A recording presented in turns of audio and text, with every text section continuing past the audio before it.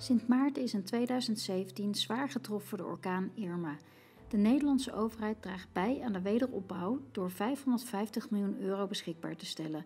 Een groot deel van dit bedrag is ondergebracht in een trustfond dat de Wereldbank beheert. Tijdens een informatiebijeenkomst hoort het Nederlandse bedrijfsleven meer over het wederopbouwprogramma van Sint Maarten en de rol van de Rijksdienst voor Ondernemend Nederland. Was positief verrast. Het is inderdaad een ontzettend goede en grote opkomst. Toen de deur opendeed viel me dat op.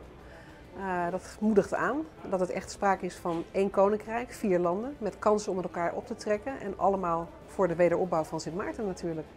DNVGR is als onafhankelijke organisatie actief op het gebied van risicobeheersing in de energieinfrastructuur. We werken voor eh, landelijke en regionale overheden om hen te ondersteunen om hun energieinfrastructuur duurzamer, veiliger, maar vooral ook betaalbaar te maken. Op die manier komen wij vaak in aanraking met de Wereldbank, die zich ook inzet voor een duurzame energieinfrastructuur. Samen met de Wereldbank proberen wij een impact te creëren op het gebied van een veiligere, slimmere en duurzame toekomst voor iedereen.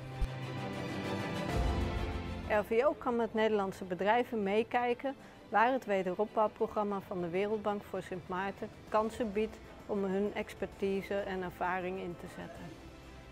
Wil je ook helpen aan de wederopbouw van Sint Maarten? Neem dan contact met ons op.